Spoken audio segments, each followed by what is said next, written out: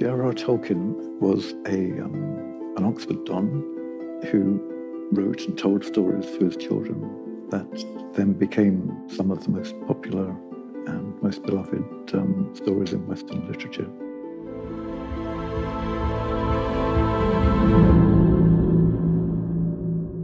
When The Hobbit was published in 1937, it was quite a success, and Tolkien's publisher said, please write more about hobbits. And Tolkien did start uh, on a sequel immediately, um, but it became something much darker, much more adult, and much longer.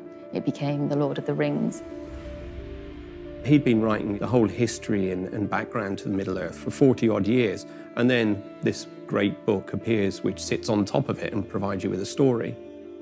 But at the same time, as he was writing prose and poetry versions of the same tales, he was painting the most beautiful watercolours to illustrate those tales.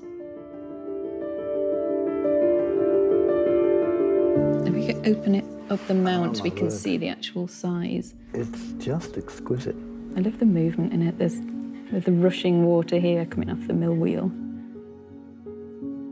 It's a huge privilege to have in the Bodleian's collections the Tolkien archive. Well, he's not really known as an artist, and perhaps some people would have looked at the illustrations in The Hobbit and you know be surprised he's actually done them himself. I've always enjoyed his artwork, always loved it, and always found it useful because as an illustrator, I'm trying to get into the author's mind as much as possible, and obviously do that through the text, but be able to go a little bit further and to look at the artwork that he was creating and just see more clearly what was in his mind. Sometimes it's hard to tell which comes first. Is it the illustration and then the text, or does the text come first and then the illustration?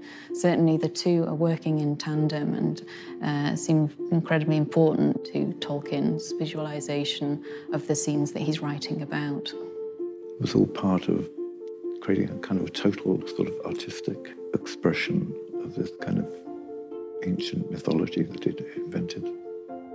Some of the uh, the landscapes he has inspired, you know, e ecologists and people like that because of the way he, he, he thought that nature had a voice. What worried him was the, the senseless destruction of nature, which he'd witnessed from a boy as he grew up through really the 20th century. There's film clips of him walking through Merton College, looking at where the trees used to be and talking about how there used to be these wonderful trees in there. So am I right in thinking that we're, we're heading to a destination that is of major importance to J.R.R. Tolkien? So uh, the Merton Stone Table, which is a spot where he would commune um, with one of the other Inklings, uh, Lewis. It was actually Lewis's inspiration for the Stone Table in Narnia. This is somewhere where they would go and talk and hash out all of their ideas. Imagine if you knew you were going to write these books and you knew that someone was going to come here several years later and pop a ring down in your name. Ashnag lurbatuluk, ashnag gimbatul, ashnag thrakatuluk agburzum ishi krimpatul. Tolkien started inventing languages uh, when he was a, a, young boy. And he said that, you know, that's what came first, inventing a language, and then he wanted a world to set those languages in. I think somebody's tried to decipher that and it is a curse against somebody who steals the gold. All right, yeah. And then you can create names in those languages and you can create concepts, you can create ideas that are difficult to translate from one language to another. It, in fact, it's impossible to conceive that he would have written The Lord of the Rings without being a professor of Anglo-Saxon. It, it's just all gone into the uh, writing of his fiction. We can see that he's taken some of the themes from Beowulf, the Old English epic poem that he taught as an academic at Oxford for over 20 years.